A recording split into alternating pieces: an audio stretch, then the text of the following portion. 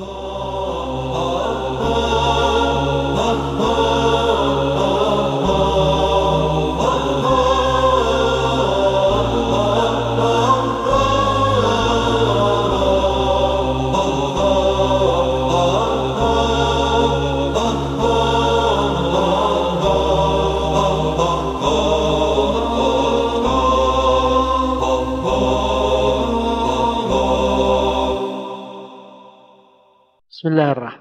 الرحيم. والصلاة والسلام على محمد وآله الطاهرين. الإخوة حملة القرآن. حفظهم الله سبحانه وتعالى. نرحب بهم ونرجو أن يوفقهم الله سبحانه وتعالى لأداء الرسالة التي هم حملوها. ويرجعوا إن شاء الله إلى العراق سالمين.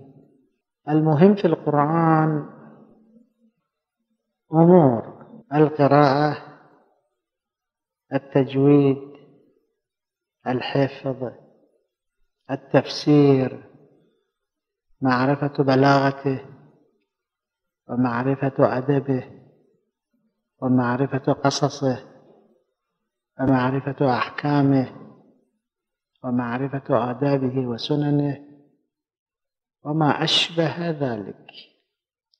هذه مهمة. وهذه المهمة موجودة.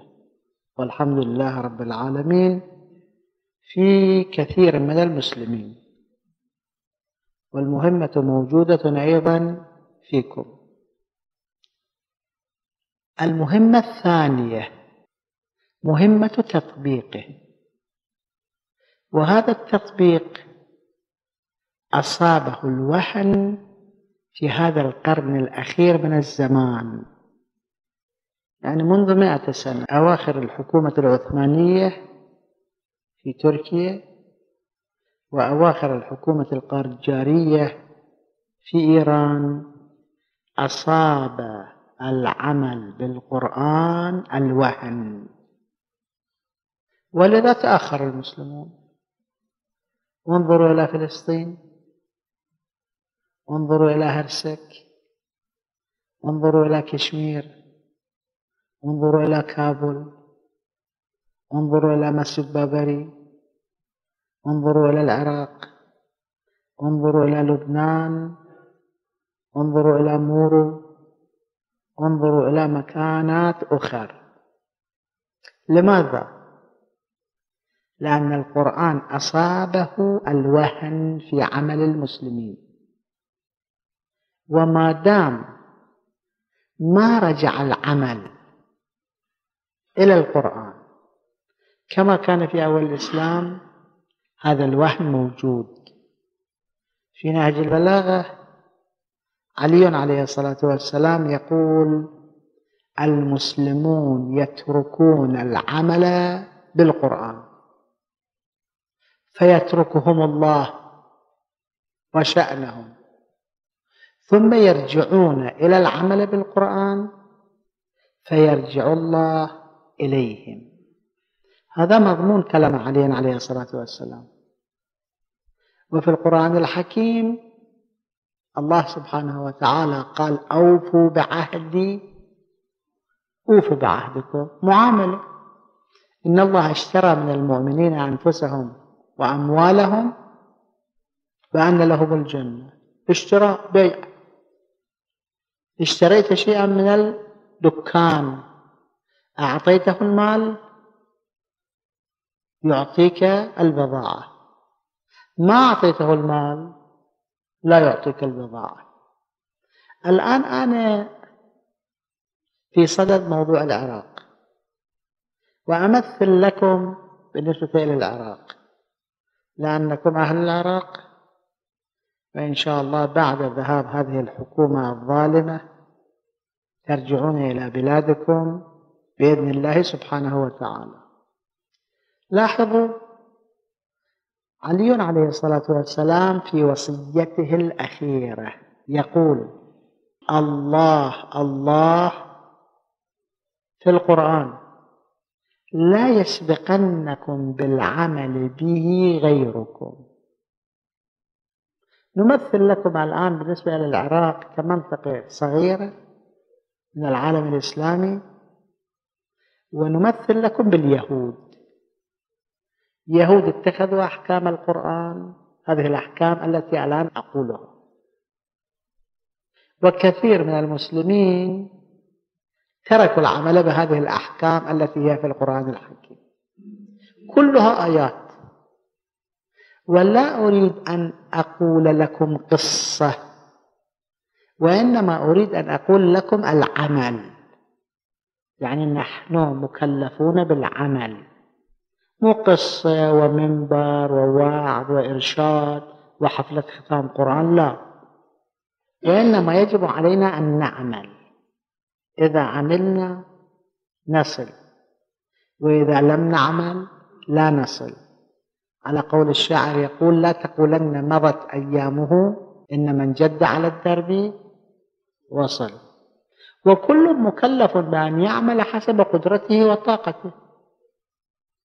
في ذات يوم الرسول الأعظم صلى الله عليه وآله وسلم كان يجمع المال للحرب. فجاءه إنسان وأعطاه دينارا. الرسول صلى عليه لأن الله سبحانه وتعالى قال للرسول وصل عليهم إن صلاتك سكن لهم. فكل إنسان يعطي المال للرسول الرسول يصلي عليه. فقال اللهم صل على فلان. ذهب. الشخص الثاني جاء وأعطى الرسول عشرة دنانير. أيضا الرسول صلى عليه. وذهب. جاء ثالث وأعطى الرسول مائة دينار. الرسول صلى عليه. ذهب.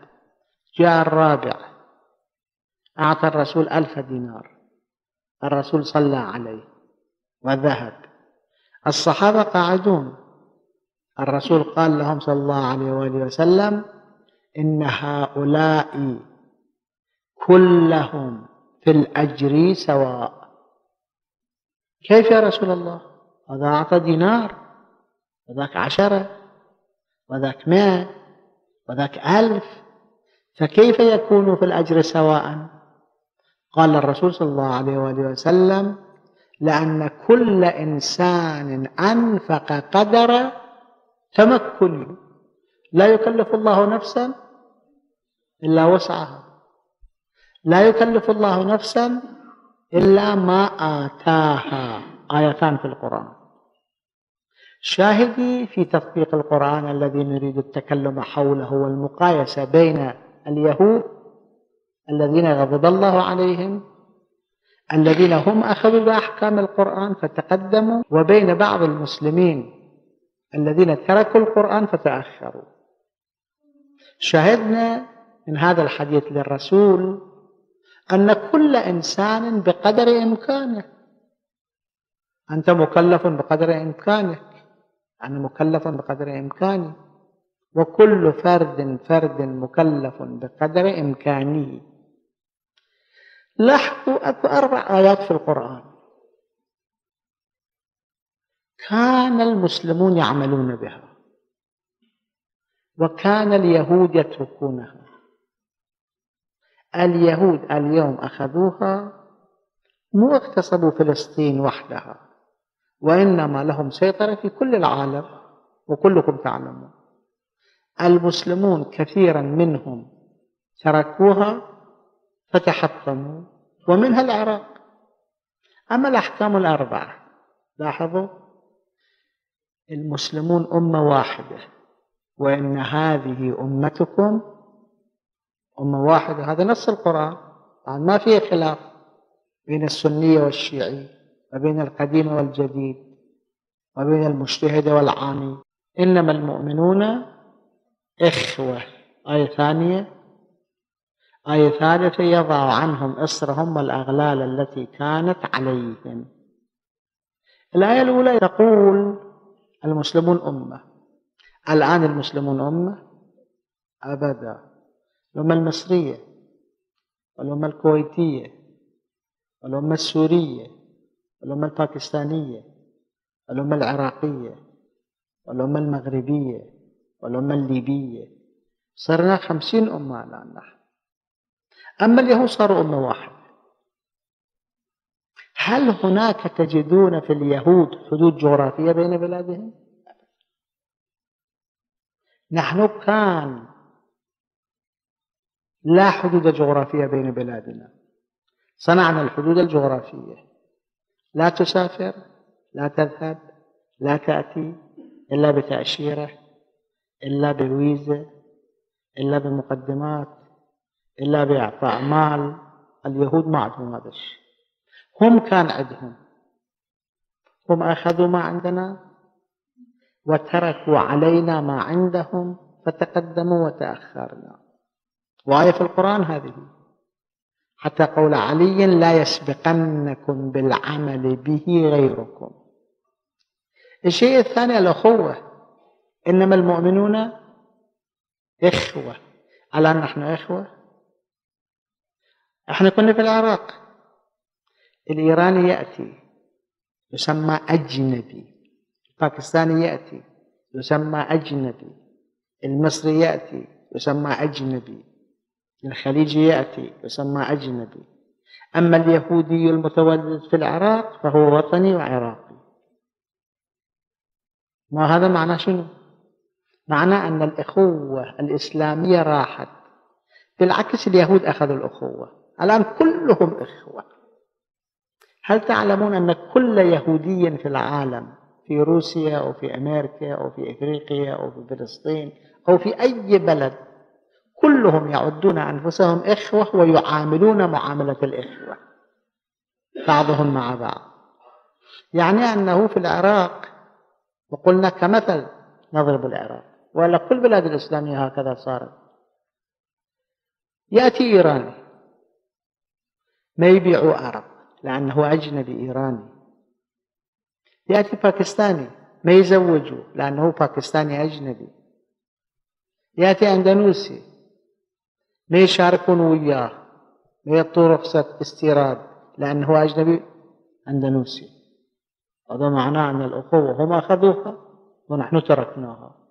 بطبيعة الحال إذا تركت ما يسبب صعودك وأخذه غيرك صعد هو ونزلت أنت هذا الثاني الشيء الثالث الحرية الحرية يعني شنو؟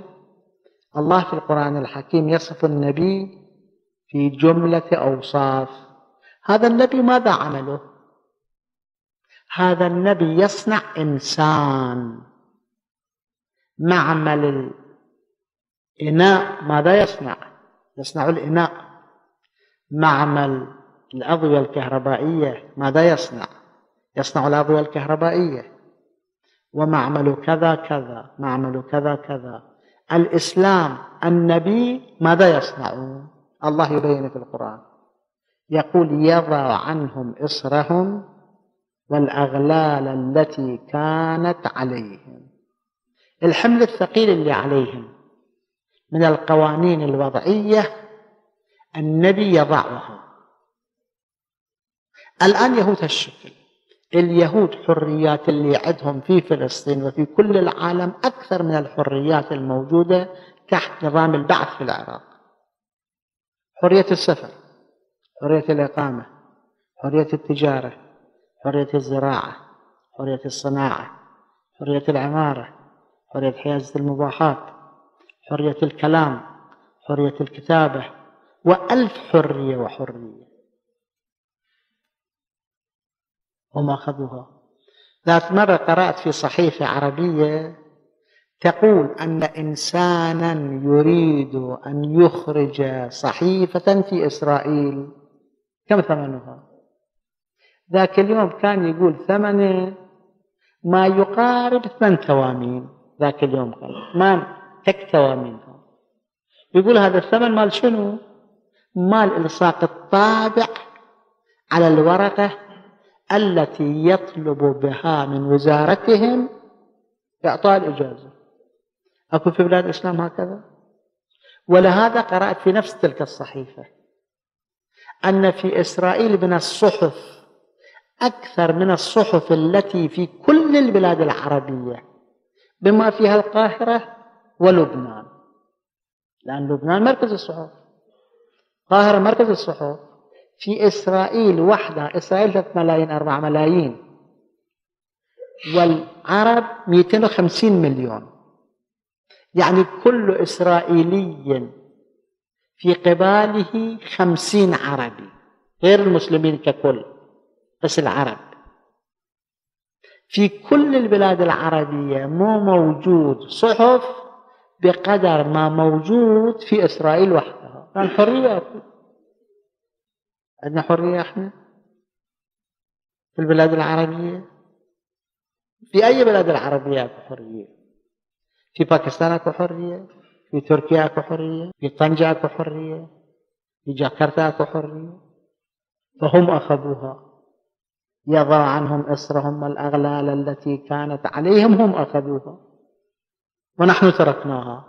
وصدق قول علي عليه الصلاة والسلام الله الله في القرآن لا يسبقنكم بالعمل به غيركم. الخلافة الرابع في سورة البقرة وأنتم بحمد الله من حفظة القرآن وحملة القرآن وتحشرون مع القرآن وتعملون بالقرآن وتطبقون القرآن وترجعون إلى العراق وإلى كل بلاد الإسلام بالقرآن. في سورة البقرة الله يخاطب اليهود يقول ثم أنتم هؤلاء تقتلون أنفسكم وتخرجون فريقا منكم من ديارهم تظاهرون عليهم بالإثم والعدوان وإن يأتوكم أسارى تفادوهم وهو محرم عليكم إخراجهم أفتؤمنون ببعض الكتاب وتكفرون ببعض؟ فما جزاء من يفعل ذلك منكم إلا خزي في الحياة الدنيا. اليهودي في زمان الرسول كان يقتل بعضهم بعضا وكان يخرج بعضهم من البلد بعضا. الله يقول اتوا بعملكم هذا تستحقون الخزي في الحياة الدنيا. قطع النظر عن الآخرة. الآن اتوا كلكم تسمعون الإذاعات تقرؤون الصحف. سمعتوا يهودي قتل يهودي؟ خلص لكن سمعتوا صدام كم واحد قتل؟ مو صدام وحده. وإنما بلاد إسلامية على كابول. كم يقتل بعضهم بعضا؟ وكلهم مسلمين كلهم مجاهدين. كلهم قاموا ضد الروس. الانتفاضة الفلسطينية من عمرها خمس سنوات. كل الذين قتلوا من الانتفاضيين في خمس سنوات ألف إنسان. راجعوا شوفوا. أما في كابول في خمس أيام ألف إنسان مقتول. ثم اليهود من قتلوا؟ قتلوا الفلسطينيين. مو قتلوا أنفسهم. إحنا نقتل أنفسنا. فما جزاء من يفعل ذلك منكم إلا خزي في الحياة الدنيا. ويوم القيامة يردون إلى أشد العذاب. شوفوا الآية؟ شلون انطبقت الآية علينا؟ واليهود أخذوا بقوائمنا ونجوا. لاحظوا؟ إيش كثر أكو فرق؟ ثم أنتم هؤلاء الله يخاطب اليهود. نكرر الآية.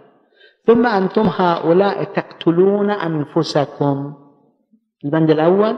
وتخرجون فريقا منكم من ديارهم. سامعين يهود يخرجون بعضهم بعضا؟ أما سامعين صدام كم أخرج؟ سامعين كابول كم أخرج؟ سامعين في لبنان كم أخرج بعضنا بعضا؟ وإلى آخره. هذا هو. فنحن تركنا القرآن سقطنا. تركنا عزنا. صرنا أذلاء. اليهود أخذوا عزنا فصاروا أعز ونحن ما لم نرجع إلى العمل بالقرآن. حالنا هذا الحال. لأن القرآن هو الضياء هو النور هو الهداية. المهم الموضوع الثاني قلنا في القرآن مهمتان. مهمة القراءة التفسير التجويد المعرفة القصص الأحكام ومهمة التطبيق. التطبيق خالصان عندنا وهذا كنموذج ذكر. وكلها لها آيات نصة. هم أخذوا ونحن تركنا المسلمون في الحقيقة لا يرجع عليهم عزهم ولا سعادتهم ولا تقدمهم ولا شخصيتهم. كانوا خير أمة. يوم أخذوا بالقرآن. أما اليوم شنو؟ كلا. لأنهم تركوا القرآن تركوا عزهم. كان عد زيد فلوس فهو عزيز. ترك الفلوس في الشارع. أخذه عمرو. زيد يبقى عزيزا وإنما يذل وعمر الذي أخذ المال والذي يعز. هذا موضوع. إن شاء الله تعالى كل واحد منا بقدر قدرتنا نعمل. أما ماذا نعمل؟ الموضوع الثاني. أنقل لكم قصة. دخل شيخ من شيوخ العرب على معاوية. معاوية شتمه في مناسبة هذا الرجل خرج وهو ينشد هذا الشعر. أيشتمني معاوية بن حرب؟ وسيفي في يدي ومعي لساني. وحولي من بني عمي ليوث ضراغمة تهش إلى الطعان أنتم معكم القدرة لكن أعملوها. عندك رجل يمشي. عندك عين انظر. عندك يد اعمل بها. القلب واللسان هذا معكم. أيضا. القلم واللسان. القلم تكتبون. لماذا تأخر المسلمون؟ لماذا تقدم أولئك؟ لاحظوا أنا كنت في العراق أحيانا أحتاج إلى اختبار. اختبار اليد بسبب دم. من هالاختبارات المعروفة أحيانا يأتي إلي المختبر بإبرة صنع العراق. إبرة طويلة ثخينة تؤذي تدمي يدي وأحيانا إلى المغرب يدي متورمة وأحيانا يأتي إلي بإبرة أجنبية مال اليابان مال ألمانيا صغيرة خفيفة متأذي وتأخذ الدم بسرعة هائلة نحن لا نعرف حتى نصنع الإبر وهم وصلوا إلى أين؟ إحنا بعدين الإبرة من نعرف نصنعها إبرة من نعرف نصنعها لماذا؟ لماذا هكذا؟ وألف شيء وشيء وكلكم تعرفون هذه الأشياء اكتبوا هذه الأشياء. لأن الكتابة علم بالقلم. علم الإنسان ما لم يعلم. اكتبوا ألفوا أنتم شباب أنتم مثقفون أنتم متدينون أنتم حملة القرآن. ألفوا. اكتبوا أيضا. لعلك تقول أنا مهندس أو طبيب أو محامي أو أستاذ جامعة هنا في الخطاب هنا في أن تخطب. الآن المسيحيين مهندس وخطيب طبيب وخطيب محامي وخطيب. لكن سمعت هذه الأشياء. أن تكون خطيبا أن تلقي كلاما أن تبين المشكلة أن تبين الحلول. لماذا هكذا صرنا؟ لماذا هكذا صاروا؟ لماذا؟ الكتابة والخطابة والتنظيم. نظموا أمركم. الله الله في نظم أمركم.